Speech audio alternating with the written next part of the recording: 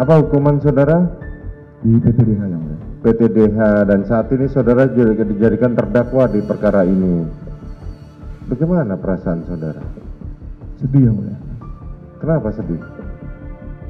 Ya, saya hanya bekerja, Bagaimana? hanya bekerja. Hanya bekerja saja. Siap. Saudara dibohongin kayak gini gimana? Hmm? Apa jabatan saudara sebelumnya? Wakaden Pembina. Wakaden Pamina. Kemudian saudara dibohongin seperti ini. Saudara sudah di PTDH dan sekarang saudara menjalani pidananya.